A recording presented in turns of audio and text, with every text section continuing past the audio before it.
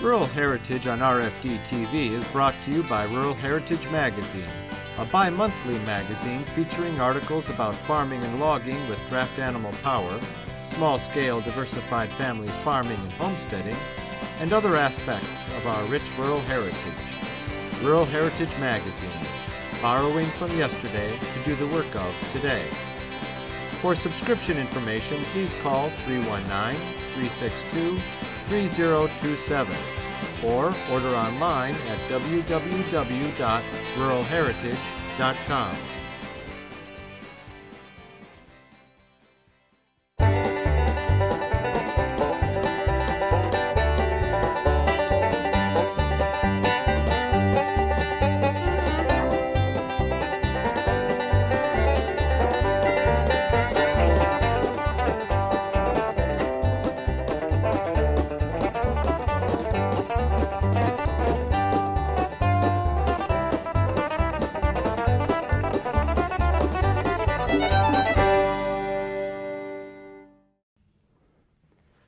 gotten the front one done. I'm going to give him a break on that. I'm going to move to the back.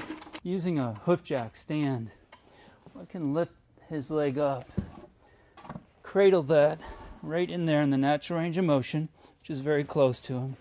And he's comfortable, just like that. I'm not holding up his weight. I'm going to put my knee behind the fetlock, use the clinch cutter, cut those clinches this shoe is a crease shoe, and you can see I've put drive-in studs in the heels to allow for some traction. I'm straightening those clinches out or cutting them off to help get those nails out. I can just set that clinch cutter in there and give each one of those nail heads a pop. And you can see that uh, Pat is wearing hard on this outside, not so much on the inside. See how the nails are still sticking up. And that's because he's base narrow. Again, we've bred these horses for centuries to be base narrow, so they travel close and can stay within the furrow. I'm just going to pull the nails that I can out of there. Get between the heel of the hoof, heel of the shoe. Give one pry back. Set that down. Get the nails out that I can get out. And then I'll move forward.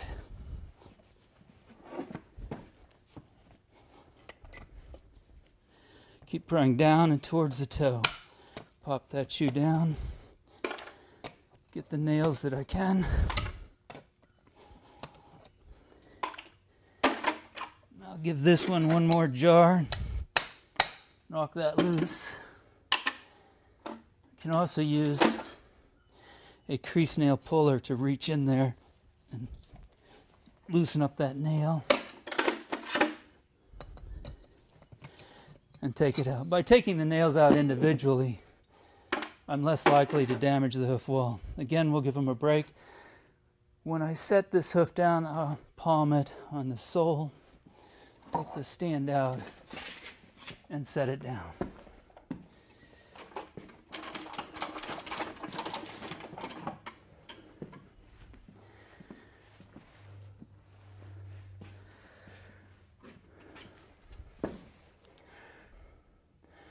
the wear of the shoe. He's wearing more on the outside. His feet tend to be a lot closer together than he is up above. I'm being aware of this. I need to give him a little more fullness on the outside. I need to tighten up the inside to uh, help him out with that conformation.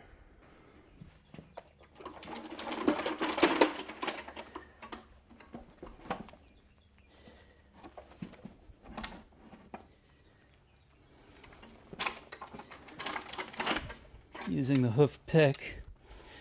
I'll pick from heel to toe, clean out the collateral sulcus down each side of the frog, brush the dirt and the debris off of the bottom of the foot,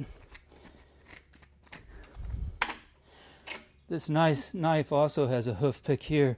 It's important to get that debris out of there if there's stones or debris in there. It's going to dull your knife up very quickly, make it more difficult to trim.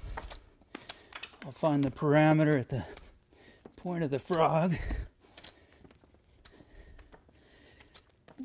Here we have a lot more hoof than we had in the front, which is normal because it's a more upright hoof.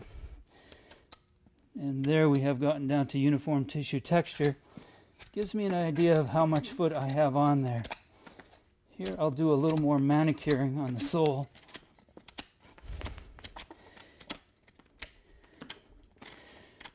Clean up by the bars.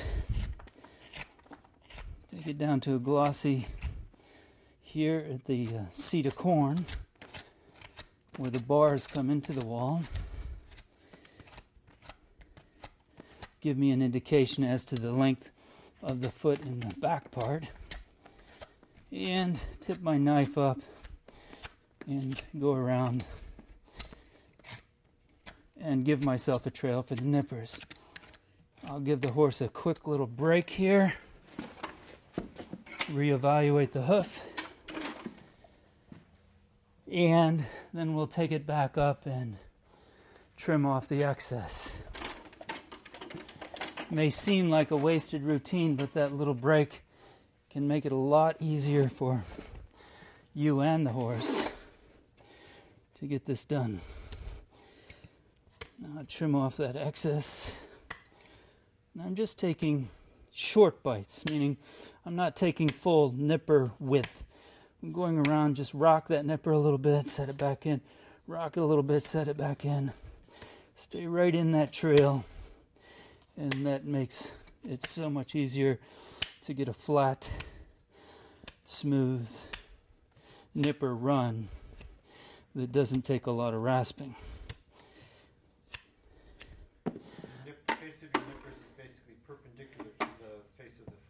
It's an important fact to keep this as perpendicular to the bottom of the foot. Don't tip it out because then we're not going to have a flat surface to set our shoe on.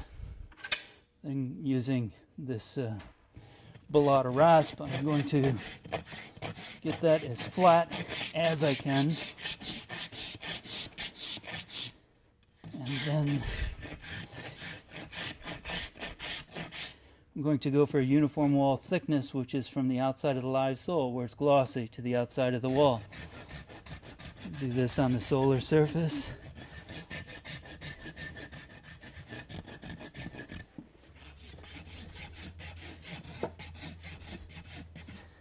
I'll use the loop knife and clean up the collateral sulcus.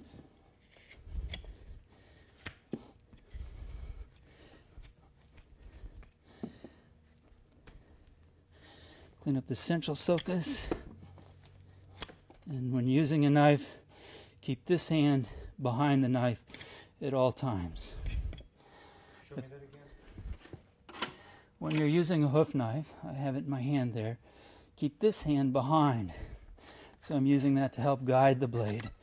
But in keeping it behind, if the horse is to flinch or move, then I'm not so likely to cut myself. Always keep it behind. Don't be holding the hoof and pulling up towards yourself.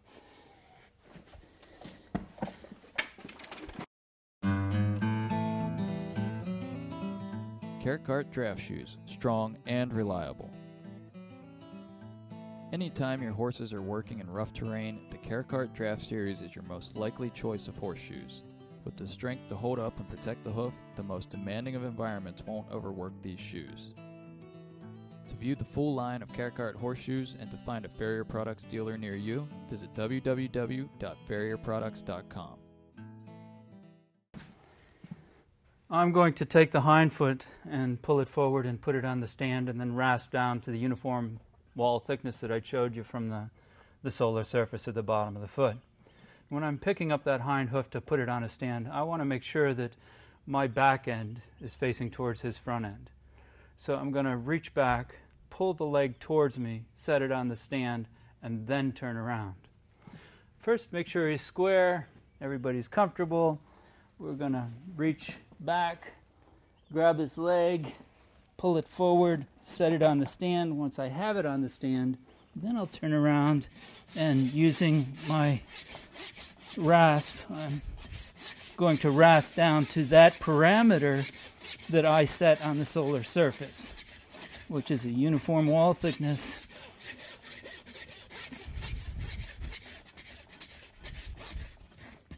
And then round the edge, an area for the clip. And then come around on the outside.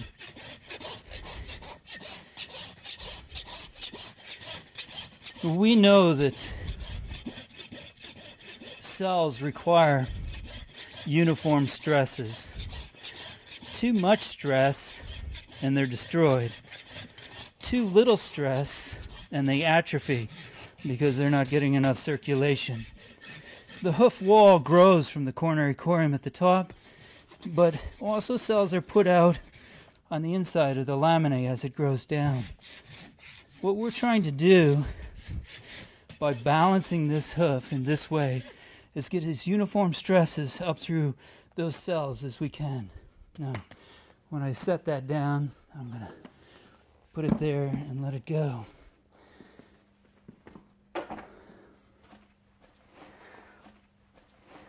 I'm going to reevaluate the hoof on a flat surface, look at the symmetry of it,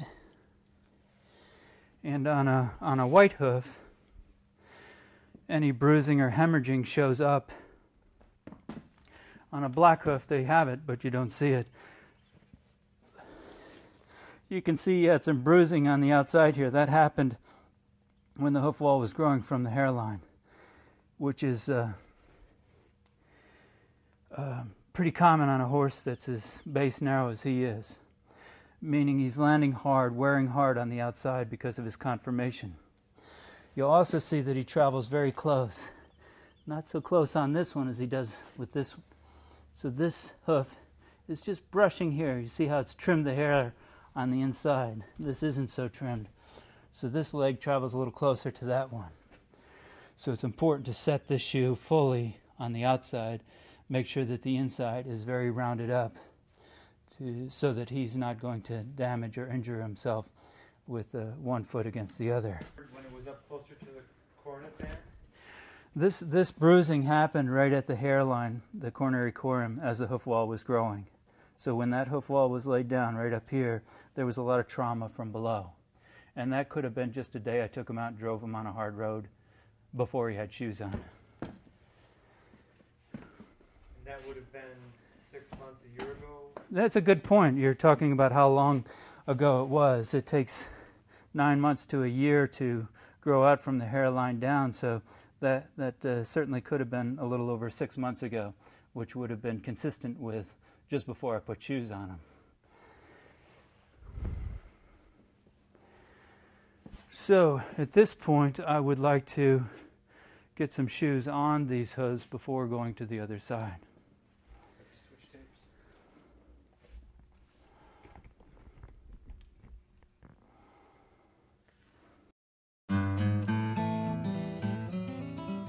Kerckhaert Draft Shoes, strong and reliable. Anytime your horses are working in rough terrain, the Kerckhaert Draft Series is your most likely choice of horseshoes. With the strength to hold up and protect the hoof, the most demanding of environments won't overwork these shoes. To view the full line of Kerckhaert horseshoes and to find a Farrier Products dealer near you, visit www.farrierproducts.com. When you're working on a horse, its hooves, and even cleaning them or picking them out on a daily basis, get an apron. Get an apron that fits you. An apron protects your legs from the hoof. The edges could be sharp. There might be some clinches sticking out. It'll protect your legs, but it also gives you friction so you can hold on to that hoof a little better. Get one that pulls away. This one has Velcro, so if the horse gets caught on me, something like that happens, it pulls away in every direction. It also has a secondary snap up here so that I can snap it off, but it is Velcro. That'll pull right away if I'm caught on the horse, and that's a, a very safe and effective tool to have when you're working on the horse's feet. So he, he gets bored with this whole process too. And every time he's moving around, he's adjusting his feet, he's getting in a position where he may not be stable. So before you just reach down and grab a foot and pick it up, make sure that his other feet are planted so that he's in a stable situation so that he can take the weight off of the one foot that you want. That he's in a position where he can stand for a couple of minutes and allow you to do the job that you want to do. And all of this is so much to remember. It's so hard to remember, especially when you first start out, because you're under there, you're sweating. I'm sweating, and I've been doing this for 40 years you're sweating, your knees are wobbling, you're having a hard time remembering to breathe, the horse is irritating you sometimes, but uh, you know, just do a little bit, set it down, move to another one, take a break, because if you work too long, you're not going to be able to do it appropriately. In fact, uh, sometimes it's best to do a couple of feet today, maybe tomorrow, go do a couple of more feet. It's not only good for you, it's good for the horse. They don't like standing around all day. And again, a little exercise before this activity for the horse. You'll get plenty of exercise working on the horse. That'll help with uh, his ability to stand still. There's nothing like a, a, the old days where a horse went 15 miles to get to the blacksmith shop and you know they stood still because they were tired and Nowadays, where the farrier shows up at the stable, that isn't always the case. They might have been standing in the stall for 24 hours until you come and they're, they're ready to go. They're ready to do something, and it may not be necessarily the same thing you want them to do. So give them a little exercise, even if it's in a round pen, working them in a circle. All right, and be conscious of the horse. Be conscious of where they are. Be conscious of their needs. He wasn't standing too calmly before because he had to take a leak. So we took him outside and he did his business, and um, things go a little easier after that. So being aware of the, the horse's comfort and needs is important too.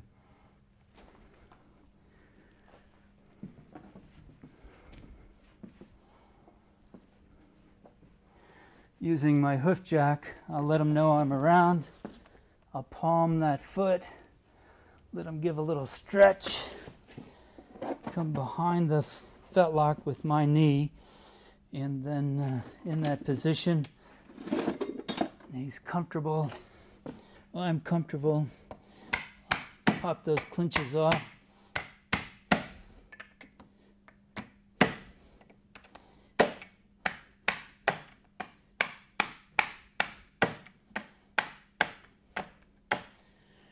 Then I can use this end of the clinch cutter because this shoe has a crease in it and break those nails loose so that I can more easily pull that shoe off. Using my pull-offs, I'll pry between the heel of the shoe and the heel of the hoof. Just pull it back a little bit. Pull it back. Knock it down. Grab as many nails as I can individually.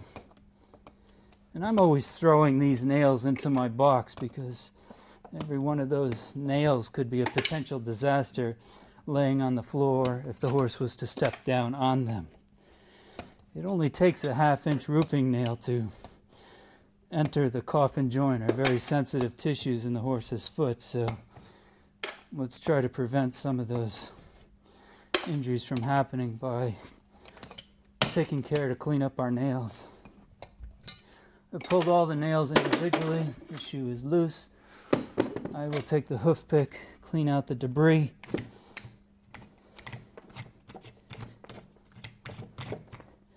I always pick towards towards the front of the frog, towards the toe. That way if there is thrush or some other disease, if I go this way, it's easy to get too deep in and uh, create pain and damage to the horse's foot. brush it to make sure there's no penetrations, no objects caught in there, and at this point we'll give them a break and go back to the front. Kerckhaert draft shoes, strong and reliable. Anytime your horses are working in rough terrain, the Kerckhaert Draft Series is your most likely choice of horseshoes. With the strength to hold up and protect the hoof, the most demanding of environments won't overwork these shoes. To view the full line of Kerckhaert horseshoes and to find a Farrier Products dealer near you, visit www.farrierproducts.com.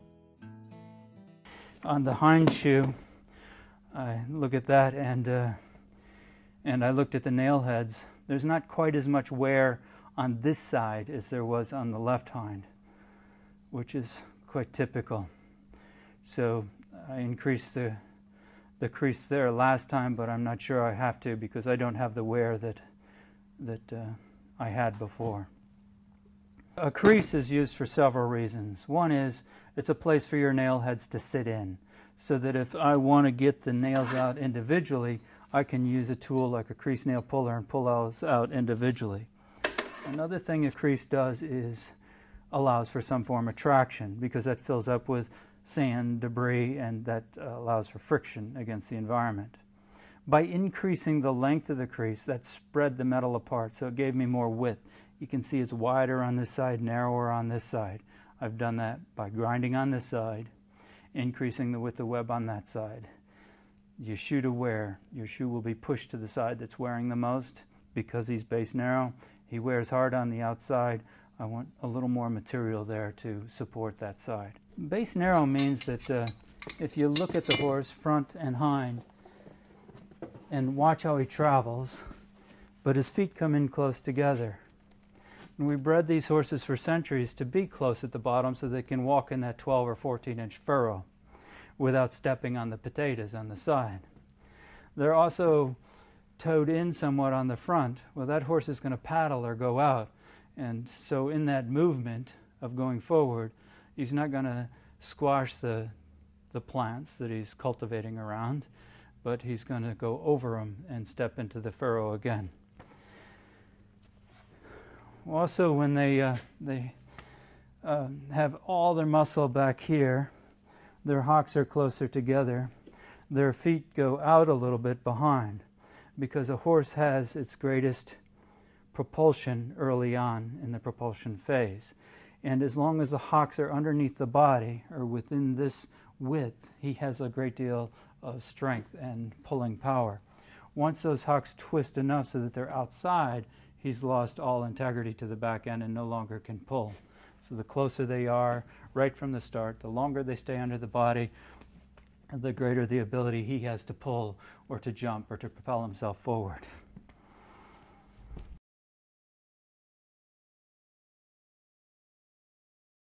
Square him up, let him know I'm here. Palm that hoof, take it back in the natural range of motion, which on a lot of these horses is behind the other limb.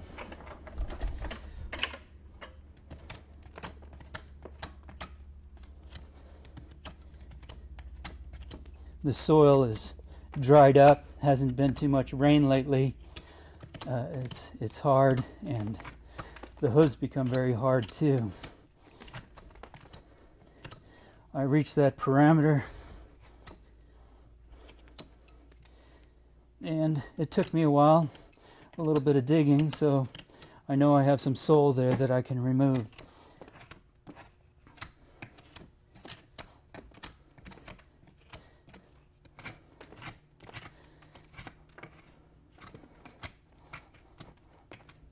It's okay to leave some. It's okay to leave some because that's the horse's only protection against the environment. I'll clean the collateral sulcus.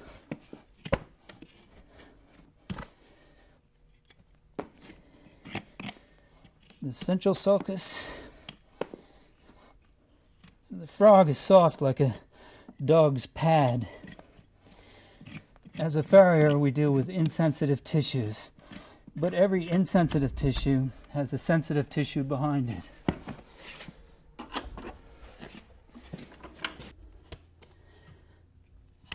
Even if you have a well standing horse like Pat is here, I think he's really good for his third set of shoes. And uh, it's tremendous physical work, and you have to be conditioned for the work you expect yourself to do. This is demanding on you physically, it's demanding on the tools that you use. You're, you'll go through more tools than you would on saddle horses, and like my nippers have long reins, bigger jaws, made for the heavy horse.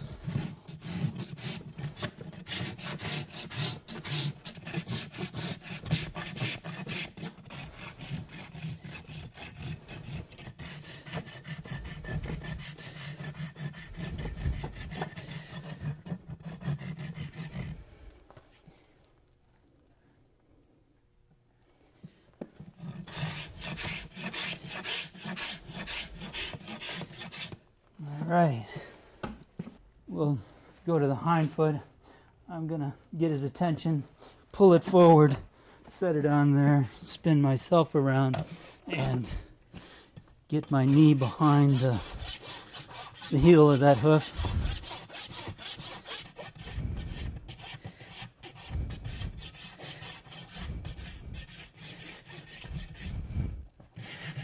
Around the edges.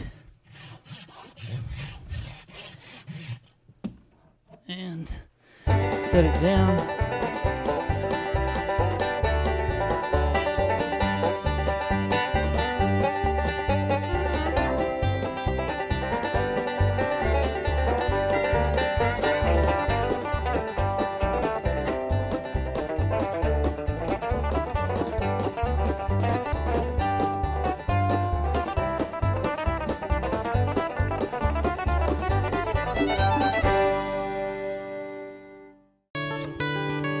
This program is available for purchase. To order your copy, please call 319 362 3027 or visit www.ruralheritage.com. Rural Heritage is a bi monthly magazine dedicated to draft animal farming and logging, as well as other aspects of our rich rural heritage. It is published by Mischka Press, which also offers a complete line of Back to the Land books, DVDs, and calendars. Call or write for a catalog or subscription information, or visit our website at www.ruralheritage.com.